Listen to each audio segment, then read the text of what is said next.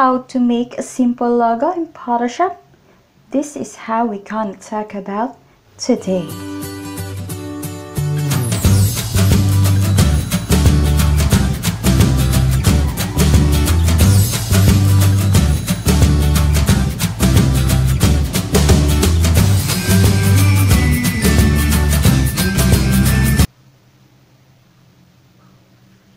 Hello there! Thank you for checking out this video.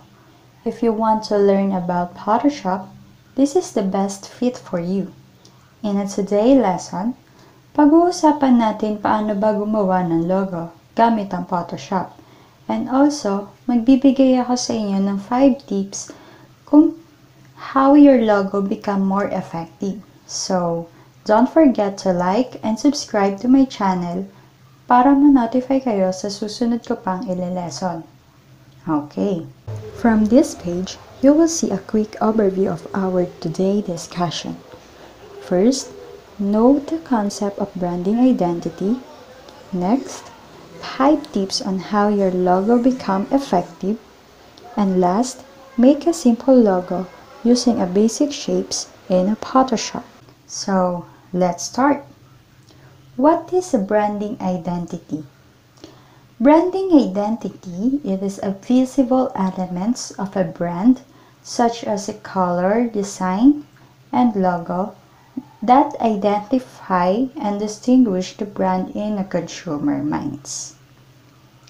Ayo, sa inyo yung 5 tips ng kung paano magiging effective yung mismo gagawin nating logo. Tip number 1 Know the brand.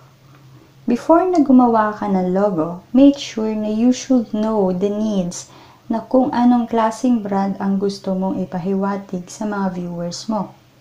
Kahit sa business, ina-apply din nila sa logo yung pinaka magiging markings para madaling manotice yung mga viewer or yung na mga audience mo.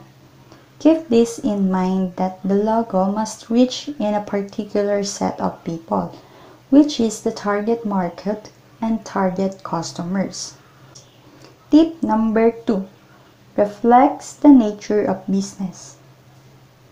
Kapag gagawa ka ng logo, kailangan nang i-reflex mo yon sa magiging business mo or kung ano ang gusto mong ipaalam sa mga tao. Kasi once na una nila nakita yung mismong logo mo, iisipin na nila agad na kung saan yung purpose na. Ayun ang gusto mong ipakita sa kanila. So, for example, um, yung nagtitinda ng mga pizza. So, makikita mo pa lang dun sa logo mo, may mga symbolize na ng mga pizza. So, unang tingin mo dun sa mismong logo nila is nagbebenta sila ng mismong pizza. Ganon kahalaga na magkaroon ng logo na dapat i-reflect mo yun dun mismo sa nature ng business mo. Tips number 3. Use a perfect color combination.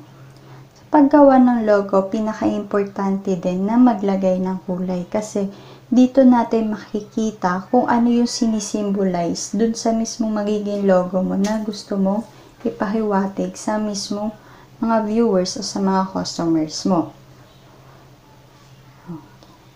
Tips number 4. Picks fonts carefully.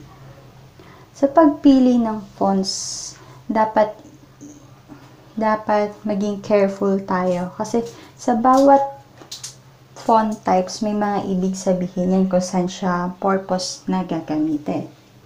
So, sa una, kapag lalagay kayo ng font sa mismong logo nyo, kailangan madali siyang basahin at madali din siyang makita kapag nasa malayo ka.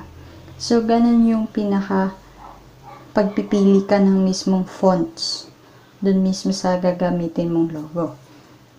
And then next, Tips number 5. Keep it simple. Pinaka-tips ko, kailangan malinaw, madaling makita sa mata, at saka madaling i-design. Kasi kapag yung mismong logo mo is sobrang madaming pasikot-sikot na design, mahir, mahihirapan ka na ilagay yon sa mga products mo. Here are the 8 sample logo.